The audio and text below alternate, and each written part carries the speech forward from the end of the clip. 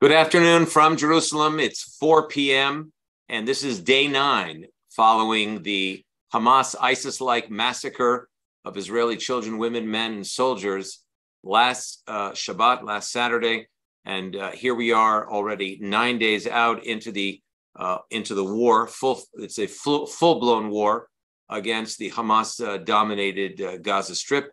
And the updates are that uh, we're standing right now uh, with massive uh, air and a massive air campaign by the Israeli Air Force targeting the Hamas leadership, uh, their uh, their main weapons depositories, ammunition depositories, their uh, main headquarters uh, in especially in the northern Gaza Strip, and as we will report to you and contextualize what's happening, the Hamas are actually killing their own people who are trying to flee uh, at Israel at the at Israel's behest, offering them humanitarian warnings to move out of the northern Gaza Strip so they avoid uh, avoid uh, any kind of uh, uh, injury to themselves. And Hamas is actively preventing their own public from moving out of harm's way. And we will uh, tell you much more about that as we move forward today. We're going to update you now and with Lieutenant Colonel uh, attorney Maurice Hirsch uh, to my left, my esteemed colleague and friend. We're very honored today to have another esteemed colleague and friend, a, a, a senior fellow of the Jerusalem Center for Public Affairs, the uh, United Kingdom's former senior commander uh, in Afghanistan, British forces, that Colonel Richard Kemp is with us. Uh, and he will create context, comparative context, uh, comparing and contrasting his experience as uh, Britain's senior commander in Afghanistan, fighting the Taliban and Al Qaeda, to what is happening today in Gaza with the ISIS uh, lookalike, the ISIS uh, essentially modeled Hamas. Uh, as we move forward, uh, Colonel Kemp is actually in his car driving back from the northern border, where he has uh, been involved in in consultations and advising, as well as what they call uh, in Hebrew arachat matzav, which is a um, evaluation, an evaluation, a situation evaluation of the current situ of, of the situation uh, in the north. Thank you very much for joining us from across from across the ocean. Uh, we're really again we're going to uh, do everything we can to create context, analysis, assessment. Take your comments and questions as well. Maurice, a quick update. Where are we in terms of numbers? Uh, dead, wounded, captured, uh, kidnapped? Where, wh- what's the status? Okay, so Dan, so let's uh, go through it. We, we're talking about 1,400 people, uh, Israelis and uh, and and foreigners who were killed in that initial attack by um, the, the the Hamas ISIS uh, uh, terrorists, and um, of them, there are still several hundred down that haven't yet been even identified because of the states of their bodies. I'm sure people have seen pictures of of of how the terrorists left the scene. Um, that is creating not a small amount of, of difficulties. We also have one 3,500 plus injured that are still being treated in the hospitals around uh, uh, uh, around Israel, um, and another 150, probably even more, that have been abducted by Hamas and the other terrorists who participated. We heard, uh, as we updated the other day, um, also the PFLP was involved in in this attack and and also took Israeli hostages. We know that for sure that the PFLP. We know that for sure that the PFLP was involved and took hostages, and that they are not subject to the authority of Hamas. Also, in the conversations yeah. that are going on about releasing uh, the terrorists. Just remind people the PFLP is the Popular Front for the Liberation of Palestine, which is a Marxist Leninist terror group that was established uh, along with the uh, uh along with in 1968, frankly, uh, uh, that um, uh, that extraordinarily they have been present in the Gaza Strip. They're quite present in Judea and Samaria, parts of the former West Bank of Jordan, and so you have here the Hamas, the Palestinian Islamic Jihad, the PFLP. This is uh, constituent members of the PLO. So P- this is PFLP is part of the PLO. Yeah. They're, they are member groups of the of, of, the PLO that is headed by Mahmoud Abbas. Um, the head of the Palestinian Authority. We'll talk just a little bit about it in, in a second. Um, we're talking about um, today alone dozens of rockets that have been fired from Gaza. They continue to fire rockets. Just a, a, an hour and a half ago, there was a salvo of rockets towards Tel Aviv, Herzliya, Ramat HaSharon. For those of you unfamiliar, these are Israel's main population centers. Hundreds of thousands, if not more, people running, being sent um, to their uh, uh, bomb shelters. Um, of some of the terrorists that have been taken out, um, that's also somewhat good news. We have Ali Kadi. Ali Kadi was in charge of the, the Nukhba, the, the, the, the, the Hamas special forces that attacked through the center of the Gaza Strip. His uh, um, uniqueness is that this is a terrorist who was released in the Gilad Shalit deal in 2011. This is a terrorist who continues to receive a payment from the Palestinian Authority for his involvement in terror while he was commanding forces to kill and murder and, uh, and butcher more Jews. Mahmoud Abbas, the Palestinian Authority, was paying his salary, funding his daily uh, uh, living. Um, as uh, you already mentioned, the Gazan authorities, the Hamas authorities, are preventing the, the Gazans from traveling south, whilst they've already received specific uh, um, orders to, to evacuate the northern area. Um, for those of you that have seen, um, there have been several hundreds of targets already attacked by Israel. We're not talking about uh, um, arbitrary tar- targets, but rather targets which were military targets, part of Hamas's not only the leadership, not only their stockpiles, but their entire military basis and their entire military infrastructure. We saw pictures of uh, um, troops coming, Palestinian, uh, Hamas troops, um, coming out of all types of hiding places and subterranean tunnels. All of these targets need to be attacked before the Israeli forces go in. That is a, a legitimate part of the fight of Israel against these terrorists. There's no reason why Israel should have to uh, endanger any of its ground forces, and the covering fire that can go with them um, should help. Um, these are the main things. Just one last point, Dan. Two documents that have been uh, um, recovered from the scenes of these massacres on the bodies of the Hamas terrorists point to the fact that even though Hamas tried to deny that it was its forces uh, that carried out the, the massacre, really there were in clear instructions of what to do, a clear order of actions, including take hostages, burn the houses, murder the hostages, rape all, the women, rape the women, all written in Hamas documents that came along with the forces yeah. and have now been seized. So that little bit of fake news that came out of uh, the mouth of Salah Haruri, um, one of the heads of Hamas, um, should be taken exactly as it is, just a blatant lie. And it also should be mentioned, um, Maurice, uh, and we'll talk about this with uh, with Luke, uh, with uh, Colonel Kemp that the the Hamas had very detailed, very specific maps uh, and intelligence about about almost every home in all of the 25 kibbutzim, towns, villages, and cities. I mean, they, they invaded cities. I mean, Sderot was invaded, Ofakim yeah. was invaded. So this was a violent invasion and, and takeover with very specific intelligence, maps, satellite images uh, to the very street of each individual town. So it, it points to a much larger strategic uh, uh, invasion than we had seen any time in the past. This is way beyond the Hamas. Without going into details, obviously, Dan, there are also some uh, um, reports coming out of strategic capabilities that a terrorist organization by itself doesn't have, and that would require state involvement. Um, obviously, we know the elephant um, in the room directing all of these uh, activities is Iran. And uh, so uh, we'll at the moment we can leave it at that. We'll leave it at that, but we'll just make one one mention that Amir Bar Shalom is one of the top military affairs reporters in Israel. Reported this morning that there were uh, voices in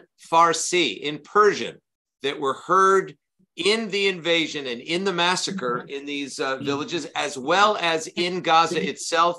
Reports that came back from Gaza that they are part of the kidnapping forces there. So there is a strong uh, sense that there are IRGC, Islamic Revolutionary Guard Corps. The, that's the that's the terror arm and the Quds Force of the uh, Iranian regime on the ground in Gaza. So let's turn uh, to uh, Colonel Richard Kemp, JCPA Senior Fellow and former British commander in Afghanistan. Richard, it's a, it's really great to have you here in Israel.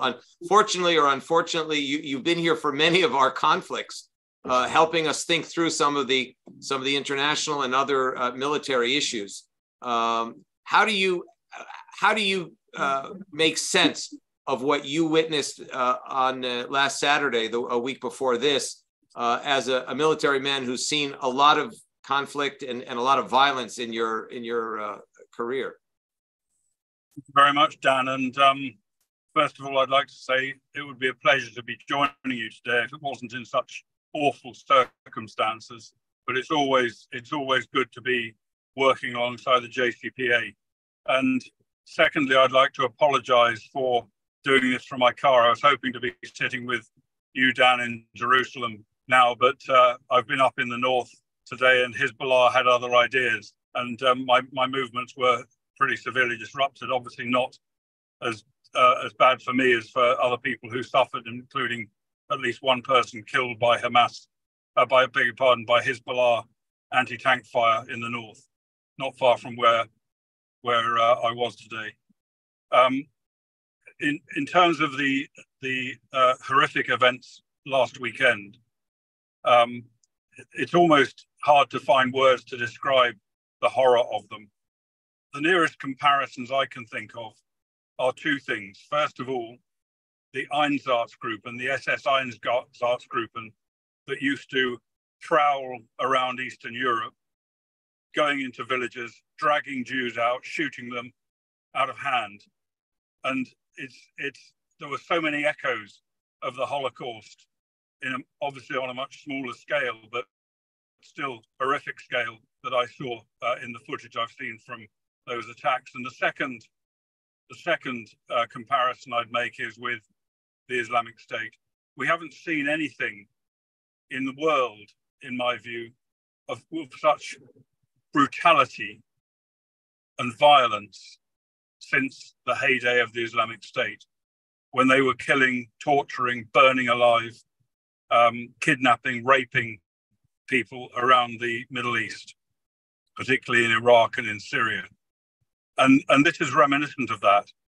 Um, and I think that the the uh, if anything, if anything, the, the, there was an even in some of the footage I've seen, some of the photographs I've seen, even greater joy and pleasure taken by the terrorists in spilling Jewish blood, even greater than I saw in the uh, my experience of Islamic State.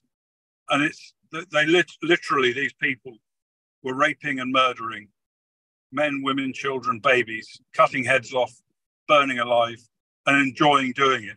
Enjoying doing it. That was one of the more chilling aspects of the whole thing. I, I have uh, taken part in the fight against Taliban and Al Qaeda in Afghanistan. And I think, again, there are comparisons between the two. Um, Islamic State, as everyone knows, was an offshoot of Al Qaeda and, and shared a great deal of their ideology and their lust for blood and their pleasure in killing as well. Um, and, and very clearly, we are we're seeing a similar, we've, we saw a similar thing last weekend uh, around the Gaza Strip. And I think it's, it, it really does go to show the, uh, I think above everything else, I don't think very many people in Israel, certainly people who watch this situation, such as yourselves, closely, I don't think this came as necessarily a huge surprise because most of us know, most of us know that what or knew what Hamas was like, what they were capable of doing. We knew they were butchers. We knew they were they acted inhumanly, not only to their enemies but also to their own people inside the Gaza Strip. We knew that. Most of the world didn't believe that. Most of the world preferred to think of Hamas, Islamic Jihad, PFLP, the other the other Palestinian terrorists, as people who could negotiate with, you could do a deal with.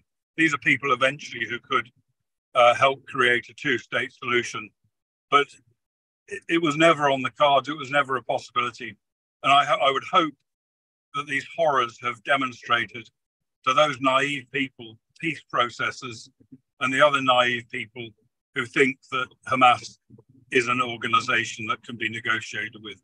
Hamas's founding charter makes clear their existence is for one thing, and that is to destroy Israel and to kill Jews everywhere. It's very clear, laid out in black and white in their charter. And of course, many people who don't understand the situation, many people who were perhaps optimistic about what could happen, uh, knew that, they read it, but they didn't believe it. They thought, yeah, this again is sort of rhetoric for the consumption of their own followers. It was far from that, in the same way as with Islamic State, in the same way as with Hamas, uh, in the same way as with uh, the Taliban and Al Qaeda. Their purpose was blood spilling, brutality, murder, and destruction. Richard, uh, now that uh, Israel has taken control back of its own borders, its own country, it's uh, managed to kill between 16 and 1700 terrorists who were in Israel, which, you know, these numbers are being updated daily, which gives you a, a, a sense of the magnitude of the invasion. I mean, the invasion was at least 3,000 3,000 terrorists in Israel. And I think I believe the number is unprecedented in modern military history or modern the history of terrorism, if I'm not mistaken. Let's remember that 9/11 was eight were, were eight to ten terrorists on uh, four different uh, Boeing 7 747 and 737 airlines that managed to kill 3,900 people, and here you have 3,000 uh, 3,000 uh, terrorists who uh, ultimately they killed 1,400 uh, people. But frankly, if if the the heroism by women and men in Israel had not taken place, it, it, would have been thousands more. There's, there's one thing that I would, um, I, I, two things I'd say about that. First of all, this was unprecedented. We haven't seen, we haven't seen a terrorist attack against any Western country on this scale ever in history. Mm. And you mentioned 9 11. When you compare the populations of Israel and the United States, this was the equivalent of 10 to 15 9-11s. It was that big, that uh, that order of magnitude. Uh, and I think it's important for people to bear that in mind. The other thing, the, the other point I would make on this is very clearly a failure of intelligence and reaction by the Israelis. Uh, and, and that's obviously not something that I believe we should dwell on now, but we should what we should dwell on, I think, is the pure, undiluted heroism of so many IDF officers, IDF soldiers, and ordinary civilians who fought back, who eventually killed 1,500 of the terrorists that came across into Israel. And that, I think, there's, I've heard so many incredible stories of retired generals, ordinary soldiers, ordinary civilians fighting and sometimes losing their lives in order to save the civilian population that was attacked by Hamas. So I think we should we should accept the the failures that occurred, and obviously that will be looked into. But we should not forget the the extraordinary heroism and fighting skill of the uh, IDF soldiers and retired soldiers and uh, members of the civilian population who who took it into their hands, often without orders, without instructions, without any real knowledge of what was happening on the ground, to go in and, and kill as many of them as they could. Richard, we're now in day nine. The tides have turned. The Israeli Air Force is in full control uh, of the airspace uh, above Gaza, of course, and they are I- inflicting uh, substantial damage on all of the uh, Hamas uh, headquarters and they have the headquarters of a conventional army, not just a terror force. I mean, they've got divisions, uh, platoons, divisions. They've got intelligence headquarters. They've got uh, you know uh, training bases, training bases, ammunition supplies, depots, command centers. Exactly, command centers. Uh, and now, if we all of us had been watching and participating in interviews uh, here and abroad, and per- a particular concern and you know, we at the Jerusalem Center, as you know, Richard, we're, we're particularly invested in Israel's international image and in, inter- Israel's international profile and position because its legitimacy as a nation state among the family of nations has increasingly come into question and has been uh, has been wounded in past years because of the behavior uh, of, of Hamas uh, and the, uh, the disinformation campaign, the propaganda campaign of the Palestinian Authority, other PLO actors, and the Hamas. And, and I must say, Israel's less than ideal uh, actions on the on the level of uh, winning hearts and minds in the international community, which we in the J- at the JCPA have tried to supplement and uh, really uh, uh, take a lead in fighting the disinformation campaign. Now, the disinformation campaign is, is stating that Israel targets children in Gaza, that Israel is causing mass casualties in Gaza, that Israel's turning off the electricity and the water, which we have. And, and can you help us create some context on the humanitarian front?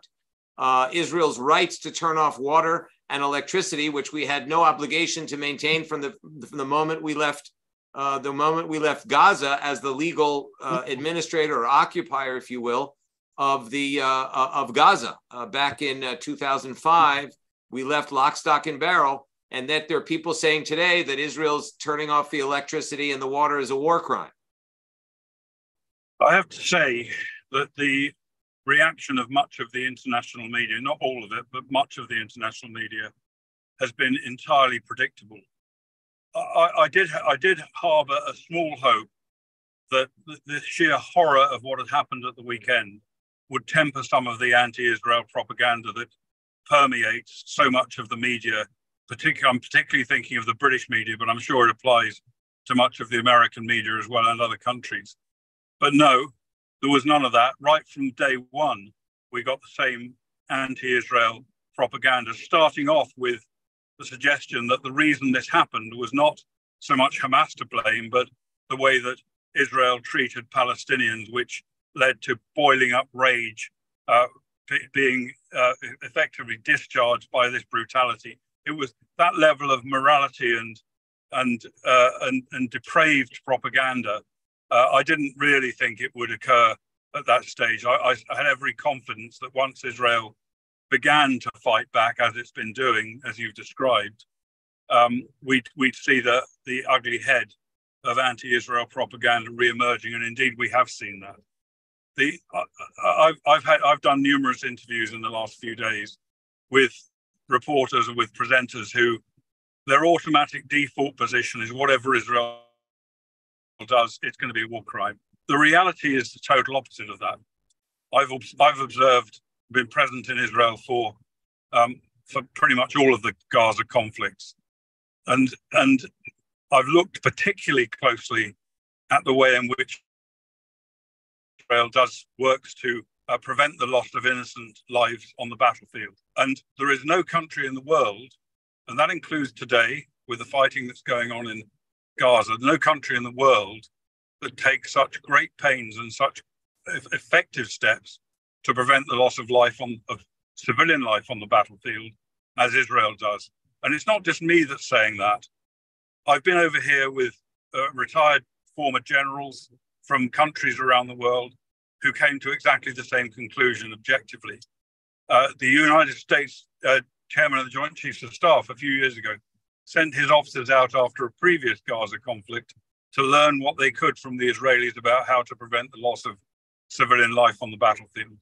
And the, the reality is, you know, you, you, you see, I did an interview today on the BBC where I was being told that there were X thousands, hundreds killed so far in the conflict, civilians killed. And what, what, the, what is being quoted here is Hamas. It's the Gaza medical authorities, which are controlled by Hamas. So any figures for civilian deaths should be tempered by the knowledge that this is Hamas, and Hamas's purpose is to uh, to to inspire anti-Israel propaganda around the world, and they are very very successful at doing that. So it's it's it, that is the start point that Israel's in the wrong. The reality is that where possible, where, wherever possible, Israel warns civilians to get out of the way of a target area, to leave a, apartment block, say, or to leave another building that's going to be targeted. Very often, as you mentioned earlier on at the beginning, that Hamas in the past have stopped civilians from leaving areas when they've been warned to do so in order that they get killed. Because this is um, Hamas's overall strategy. The reason they carry out these attacks, the reason they have fired rockets into Israel, the reason they've uh, dug attack tunnels into Israel, the reason they carried out these attacks at the weekend.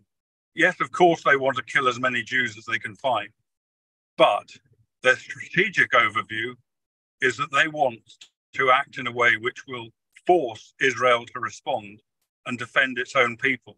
And they know that Israel's response is going to result in the deaths of innocent civilians because Hamas fights from within the civilian population.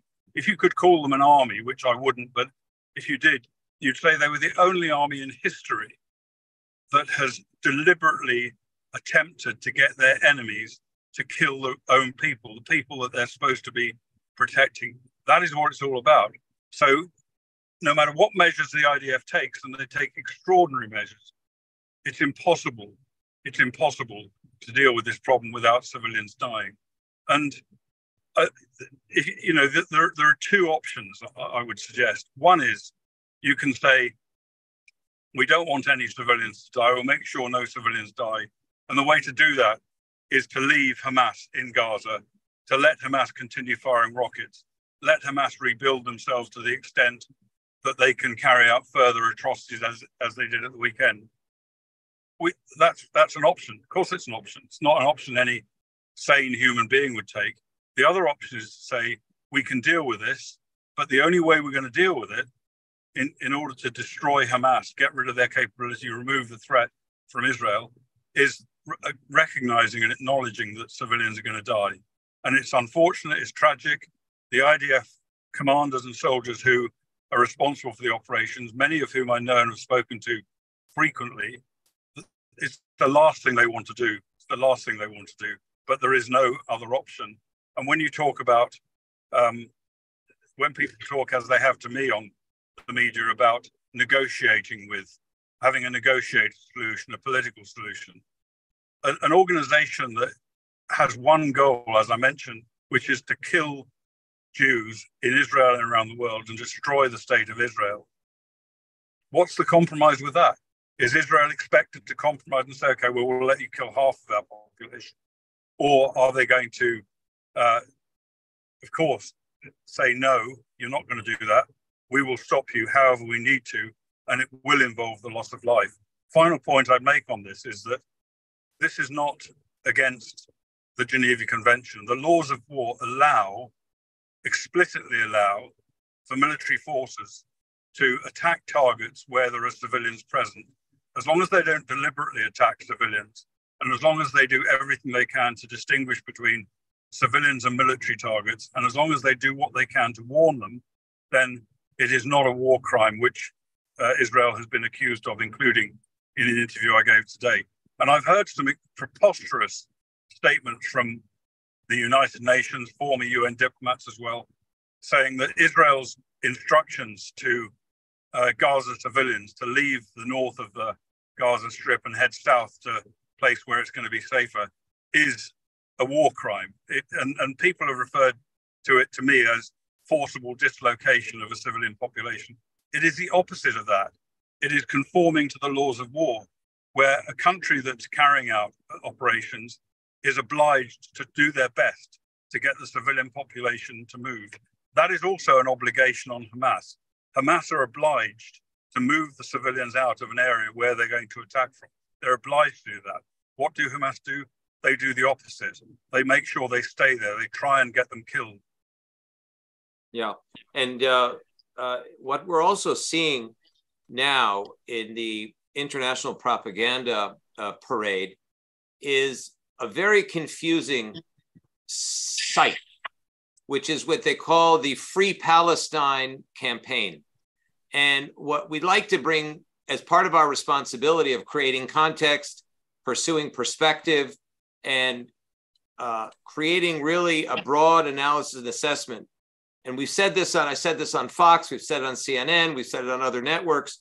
When you see people, thousands of people in the UK, in the United States, North America, say from the river to the sea, Palestine will be free, or free Palestine, or I'm with Gaza, they're basically uh, they're basically committing a, a clarion call for the additional murder of Jews in Israel. Because when they use that language, which is almost like Soviet language, you know, the Soviets used language like justice, equality, and freedom uh, as they were murdering millions of their own. Uh, this whole Free Palestine campaign is a campaign to support the Hamas, is a campaign to continue the massacre of Jews. That's what the freedom means. It's freedom from Jews, and I, it's important for our our uh, family and friends and colleagues who are uh, with us on this briefing and further briefings to be very clear about what that means. I, I agree with you 100%. And, you know, the, the, the term from the river to the sea, which is chanted at so many university campuses in so many protests and demonstrations around the world, means only one thing the destruction of Israel. It means that, that the, the, the territory between the River Jordan and the Mediterranean Sea will be free of Jews. That's what their objective is. That's what's specified in their charter. And people who chant, who go around chanting that, many of them don't even realize that's what they're calling for, because they they they're given throwaway lines, they're given lines to take, and they're given songs to sing. And what they don't probably don't realize is that by doing this, in some cases, in many cases, they do realize, is that they also have blood on their hands by by taking part in these effectively anti-Israel protests. They're not pro-Palestine. Every I'm pro-Palestinian. Any right-thinking person is pro-Palestinian in terms of what not wanting to see Palestinians suffer or killed. But this is anti-Israel rather than pro-Palestinian. And those people who take part in these demonstrations, and I saw an Islamic State flag in a picture being in London yesterday being waved as part of the protests. These people are supporting and encouraging Hamas in what they want to do. And that it's not just protesters and demonstrators, it's university professors, it's students at universities, mainly at peace studies departments, and, and, and similar things to that. And, and United Nations Human Rights Council's investigations, in which they, they, they, they universally condemn Israel. They vilify Israel. They seek to have Israel's delegitimization.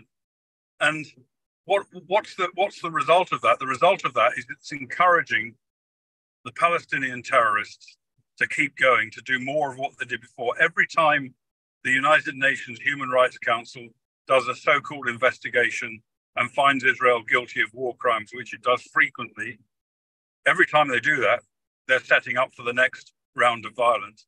And to be honest, Israel has suffered greatly from what happened, and particularly at the weekend. But Israel, Israelis, citizens of Sderot, for example, who are sent all the time, sent scurrying into their air raid shelters, men, women, children, uh, they're suffering. And many Israelis are suffering as a result of what Hamas has done in Gaza, even if you put aside the massacres at the weekend. But the people who suffer most, the people who are suffering above all else, are the Palestinian people in Gaza. They are held captive by Hamas. The funds that had given billions of dollars of funds given by the international community for the welfare and well-being and prosperity of Hamas of, of Gaza citizens. That money goes normally to two places, one of two places. One is to, to find weapons, to dig tunnels, to, to find other means of attacking Israel. And the other place it goes to is in the pockets of the terrorist leaders themselves, who are among the wealthiest terrorists in the world. So, Richard, I, I, think what, what you said there was exactly right. I think not many people know and understand that there are tens of thousands, if not even hundreds of thousands, of Israelis that have been forced out of their homes, forced uh, uh, to flee the border areas. As we're talking now, there are more uh, mortars and rockets landing on Nahal Oz on that on that southern area of the border with Gaza. Give us a little bit of, of a perspective what it means to be in that situation. Put yourself explain to our audience in, in israel's situation. You're you're uh, uh, um, obviously fighting in afghanistan. Um, there there was a war tens of thousands of kilometers away from the home base no real danger posed to the home front.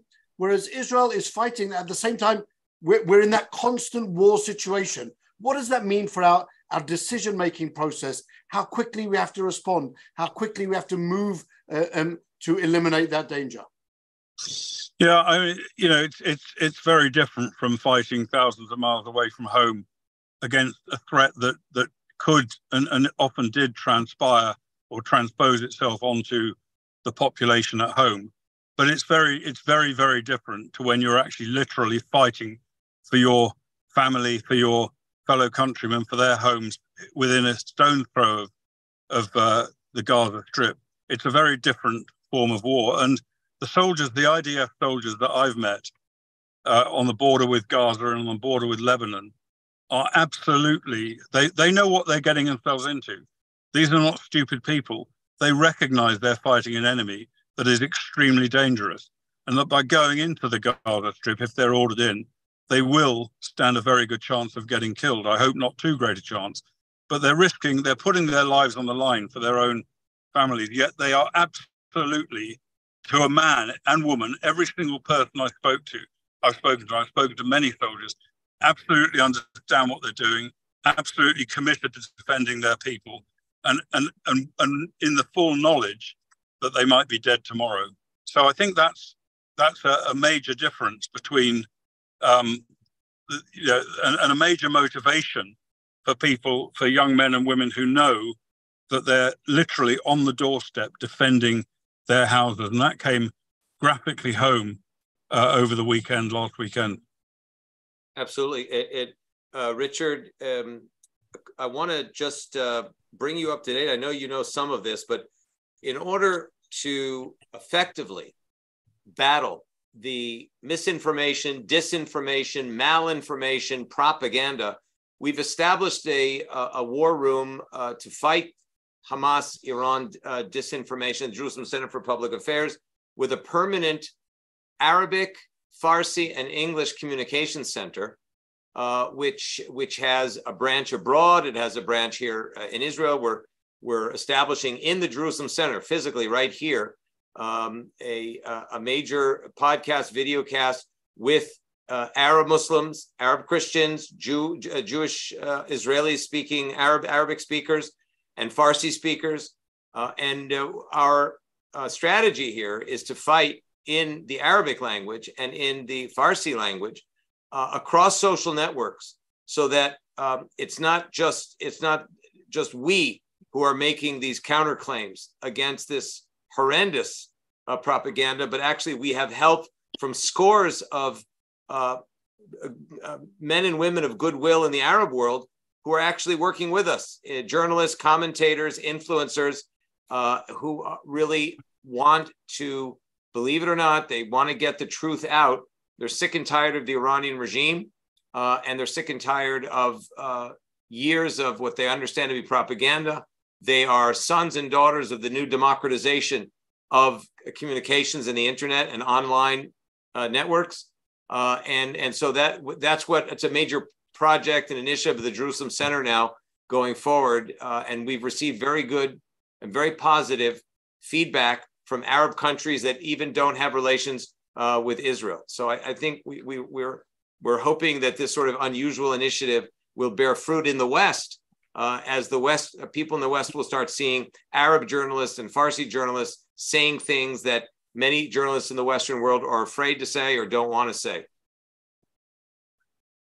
I, I, I think it's so important, Dan, that work.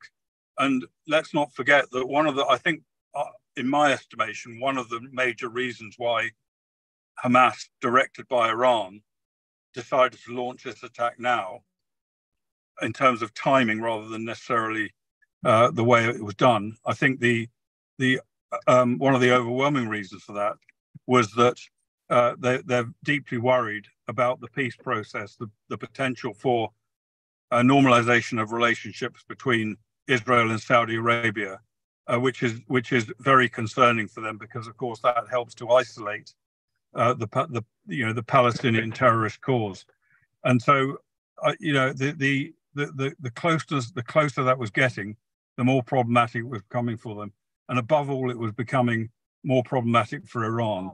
And Iran, of course, as we know, has their hand on the tiller in this whole conflict. Absolutely. Um, Richard, if we can go to just a few questions, there's some uh, uh good questions here. One is, is, just a reminder, and I, I actually agree with this uh, anonymous anonymous attendee participant said, "Oh, be careful not to say turn off the water."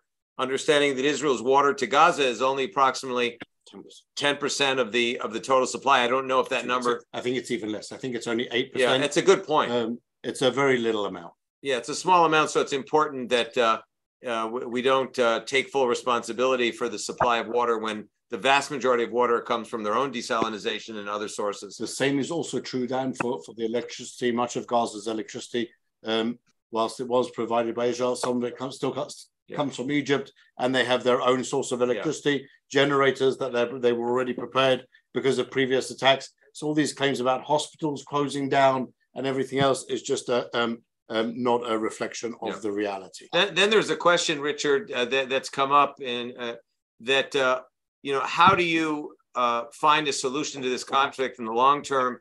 No approach has worked thus far. What needs to happen, according to the questioner, to drive this to a two state solution once and for all? Our view at the Jerusalem Center is that what the Hamas ISIS has proved now is there really is no two state solution. Uh, and that that there ha- there's going to be another diplomatic, political, strategic pathway to um, uh, to enable the Palestinians in Gaza to live in dignity and in freedom and autonomy. But the idea of having an independent state, we would be setting up for another mass uh, another massacre, as and even more so in in the uh, in the topographical, uh, critically topographically important uh, Judea Samaria, where there's you know the the Judea and Samarian hill ridge is 3,200 feet uh, above sea level. And he who he or she who controls the high ground in the West Bank controls all of the uh, strategic advantage over Ben Gurion Airport and the Mediterranean coast cities. The, a, a two-state solution was never going to be an option. It was an impossibility, and I think, if anything, this, as you as you sort of suggested, these latest attacks by Hamas have actually put the final nail in the coffin of any two-state solution. Now, it may be possible for there to be greater autonomy in, let's say, in Judea and Samaria than there is now. That may be a possibility depending on how uh, negotiations work out. But it can never be a possibility that there can be a state adjacent to Israel in Judea and Samaria that is not under Israel's security control. We've seen what happened in Gaza. Uh, we've seen what happened not just at the weekend, we've seen numerous uh, aggression against attacks against Israel uh, when Israel is not actually present and controlling the security. Now, that would happen without a shadow of a doubt inside Judea and Samaria if Israel left Judea and Samaria. So it cannot, cannot possibly uh, allow anyone else, whether it, even if it was an international organization, it can allow no one else apart from Israel to control Judea and Samaria. And when it comes to the longer term perspective on um, on Gaza. Hamas is the government of Gaza. Israel is set on destroying Hamas. Therefore, Hamas, uh, Gaza will have no government. Somebody's got to govern it when it emerges from this war, hopefully without Hamas or Islamic Jihad or PFLP.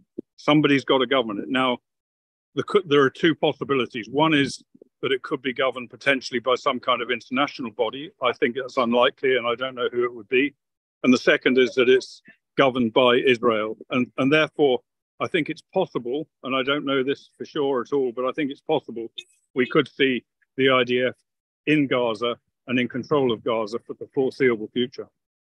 Yeah, absolutely. It's uh, without question. I see that Harold Rhode and this question as well. Okay, we'll see Harold Rhode has raised his hand. I think you have to send it into the chat, uh, Harold. A question uh, because of the uh, the system we have uh, here, the webcast system, is not um, is not uh, given to people asking questions or making comments uh, uh, orally. the the question above, this is just two more questions, and we'll end. Um, clearly, there's no. where are we here? Yeah, this one. Yeah, go ahead and read it. Why doesn't the fact that Hamas is killing its own people uh, while they're fleeing isn't why isn't it being reported by the the world's media? Um, the world needs to know that. Well, the world needs to know also that of the one in every four Hamas rockets falls in the Gaza Strip and kills Palestinians. That's the that's part of the death toll. Is the Hamas homemade rockets killing their own people? It's not only preventing the people from fleeing fleeing southwards, which is obviously endangering their lives and, and, and getting them killed, but also actively killing uh, um, their own people. Um, so that's the, the answer to that question.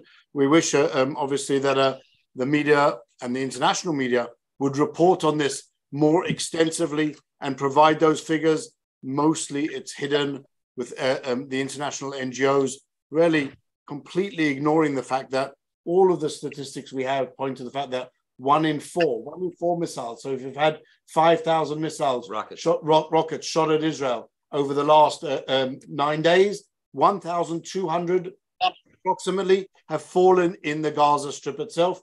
And that's something which, again, the international media tends to uh, tends to ignore. Harold Rhodes, uh, a comment. Uh, he wants to talk about why neither Hamas or nor Abu Mazen or Mahmoud Abbas can what? Can what? What do we want to know? Can uh, can recognize Israel?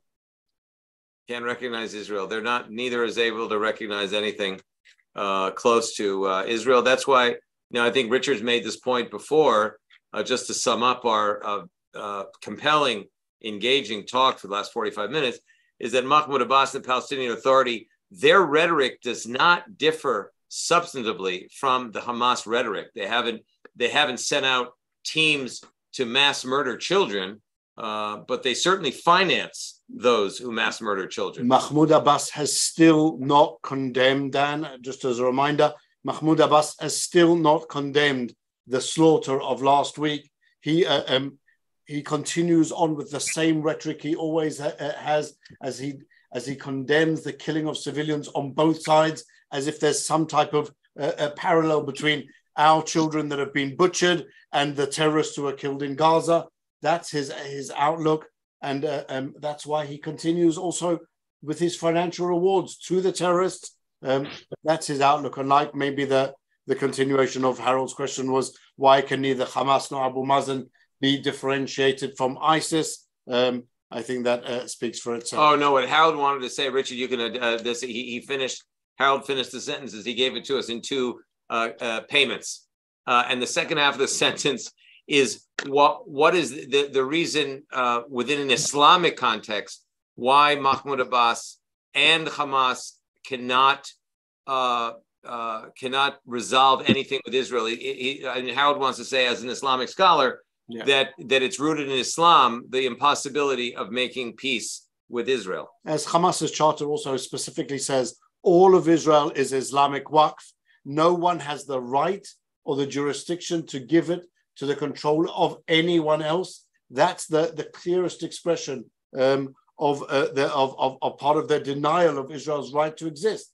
No one can ever make peace with Hamas. Uh, they aren't. They aren't. A, a, a, a, they aren't yeah. an organization that recognizes us, and, and so you can't. Yeah, you Richard, can't your final observation, your final comments uh, for this afternoon's discussion thank you very much. I've I've uh, enjoyed taking part in it, even if you may not have enjoyed seeing me driving around Israel. But um, I think w- what what I would say is that the Prime Minister of Israel is going to be faced with a, a, a significant. He's already faced with massive dilemmas. He's going to be faced with uh, great dilemmas in the coming days, and one of the, one of them is, uh, you know, as I've witnessed myself up on the Lebanon border today, um, Hezbollah, I think, has been carrying out the most intensive attack campaign against Israel since the second uh, Lebanon war. Now, at some point, it may be, and it may be when, if and when Israel goes into Gaza, they may be faced with uh, a war on the northern front as well, and Israel is then in the position of having to fight on two fronts, which is going to be, I think, doable for Israel. Israel's prepared for that, but it's going to be tough. There's no question about that. Um, and the second big dilemma I think that President, that Prime Minister Netanyahu is going to face is the United States of America. As this conflict unfolds, are, is America going to remain as steadfast as they've been so far? We, we don't know. We don't know that. I would be slightly pessimistic about at what point the President of the United States decides to start exerting pressure on Israel to, to end its operations in Gaza. And, and that will not be a problem if it's after Hamas is destroyed, of course. And there'll be no reason to continue in that circumstance. But if pressure is put on Israel to cease operations before they've achieved their mission, that is a huge problem for Israel because you know you it's not just a situation where you can say Israel's a sovereign country, it can do what it wants. Israel has such a close and not I wouldn't say totally dependent relationship with the US, but must maintain its relationships with the US, almost come what may. And that I think puts the prime minister in a difficult position. So we we we watch that with great closeness. And of course, the many of the anti-Israel media, many uh, anti-Israel diplomats and, and, activists are hoping to pressure, uh, and, and, the demonstrations taking place uh, are hoping to pressure the president of the United States, other other world leaders, to to, to essentially say, well, you know, we're, we're paying a high price now, so let's uh, let's try and stop Israel from carrying on what it's got to do, and and and that that is that could be a big problem for the future. Yes, thanks you for that uh, warning and uh, foresight. We look forward to seeing you again during your visit here, Richard. And thanks for so much so much of your time. We were very impressed at the the the the level of driving skill that you were able to exercise well, offering deep analysis. It's a it's quite it's a, it's very skilled. And thank you for your. I think uh, I think I think I think many British people might who saw me sitting on the right hand side of the car might have wondered about that, but right, they might have actually thought you were driving. Yeah, right. And in, in Britain, of course, we drive on the correct side of the road. Where here in Israel, like in the United States, they drive on the wrong side of the road. That's right. It, you know, the Brits haven't gotten over the mandate yet, and so we keep getting we get digged. There's digs. Great, Richard. I look forward to seeing you. The Americans haven't learned to speak English either. That's right. That's the point. I know we can't, can't, do everything, and uh, and thank you to our colleagues and friends abroad. We would uh, we, we deeply need your uh, your support. Uh, if you you can uh, email us at uh, diker at jcpa.org or Maurice Maurice. M A U R I C E M A U R I C E at jcpa.org. If you can uh, if you can help us support us financially on the on this brand on this extraordinary important concept of the Arabic Farsi and English uh, Communications Center would be deeply grateful. We're fighting the dis the disinformation war, and we're we're uh, we're really uh, the head of the spear on on on trying to win hearts and minds in the West. Uh, thank you ever so much for joining us. We'll see you tomorrow at four o'clock. We'll have Fiamma Nirenstein, uh, who is uh, one of the great European experts, European Israeli experts in anti-Semitism, talking about that the view of of Hamas, ISIS, and classic anti-Semitism uh, themes to, to keep in mind. So we'll see everybody tomorrow, and God bless, and have a safe and sound uh, day today across the seas in North America or in Europe, wherever you are. Nice to see you, everyone. Goodbye.